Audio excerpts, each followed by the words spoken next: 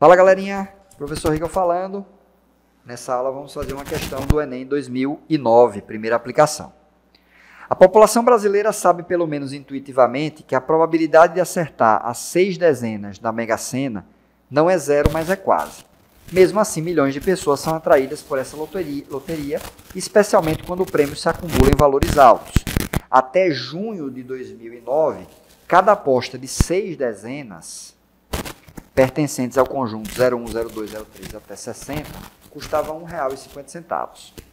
Considere que uma pessoa decida apostar exatamente 126 reais e que esteja mais interessada em acertar apenas 5 das 6 dezenas da Mega Sena, justamente pela dificuldade dessa última.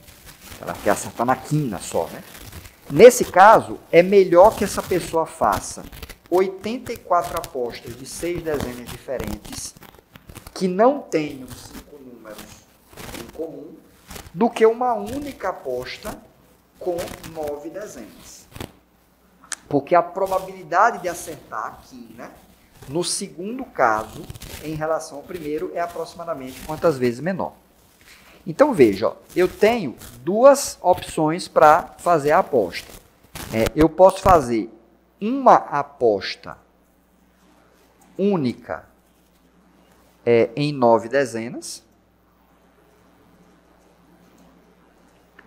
ou 84 apostas em seis dezenas. Dezena que ele chama é o número, viu? Dezena é o número. Seis dezenas pertencentes a esse conjunto, né? Então são os números que eu estou escolhendo, né? 1, 2, 3, 4, 10, 15, 20, 50, até 60. Aí ele está interessado em acertar a quina, né? Então ele está interessado em acertar cinco dessas dezenas, né? Cinco delas. Cinco delas. Aí a pergunta que eu faço é o seguinte: se uma pessoa joga seis dezenas, seis dezenas, dessas seis dezenas, cada grupo com cinco é uma forma diferente dela acertar na quina. Então, por exemplo, se dá seis dezenas, ela acerta essa cinco, é uma forma.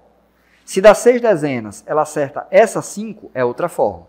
Se dá seis dezenas, ela acerta essa cinco aqui, ó, essas cinco, essas três, essa e essa, essa aqui não, né? É outra forma. Acerta essas duas, essa e essas duas, é outra forma. Então eu percebo que das seis, cada cinco escolhidas e a ordem não é importante, né? a ordem de escolha não é importante. É, das seis, cada cinco escolhidas é uma forma diferente dela acertar na quina.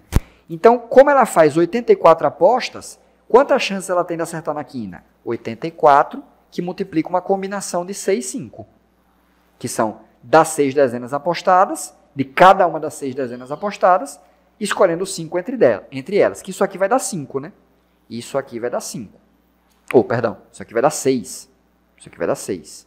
Né? Então, quantas chances ela tem de ganhar fazendo essas 84 apostas de 6 dezenas? 84 vezes 6. Daqui a pouco a gente faz essa conta. Daqui a pouco a gente faz essa conta. Não precisa multiplicar agora, não.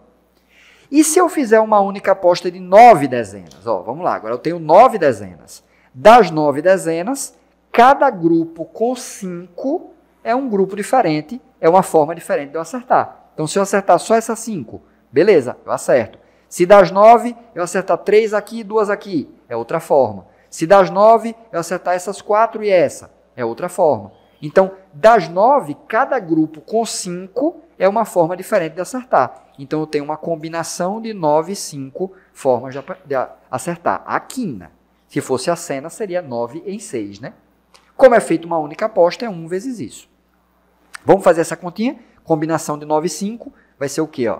9 possibilidades para a escolha da primeira, 8 para a escolha da segunda, 7 para a escolha da terceira, 6 para a escolha da quarta, 5 para a escolha da quinta. E aí, como a ordem não importa, eu divido isso por 5 fatorial. Né? Se quiser, pode fazer pela fórmula também. Né?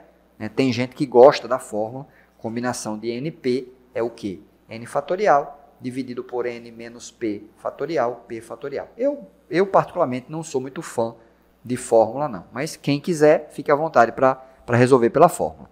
Simplificando aqui, ó, 5 com 5 vai embora, 3 vezes 2 vezes 1 dá 6, 8 com 4 dá 2.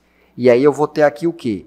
9 vezes 2 vezes 7, né? 9 vezes 2 vezes 7, chances, chances de acertar a quina.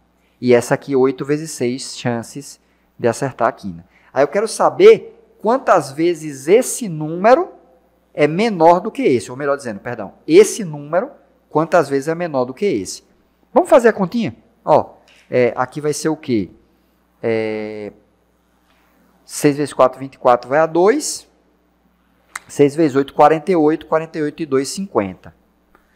É, aí aqui vai dar o quê? 14, né? 14 vezes 9. Multiplicar por 9, você pode fazer vezes 10 e tirar ele mesmo, né? Então, ó, 14 vezes 10, 140. 140 menos 14. 140 menos 14, 130, 126. 126 chances eu tenho aqui, né?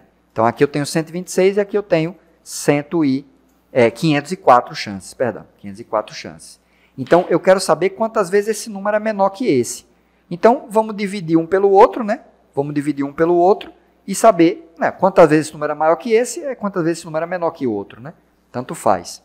Então vamos dividir 504 por 126 e ver aproximadamente quanto é que dá isso aí, né? Ele fala aproximadamente, não sei se vai dar igual, né? Mas vamos dividir 504 dividido por 126. Então isso aqui vai dar o quê? Vai dar 4, né?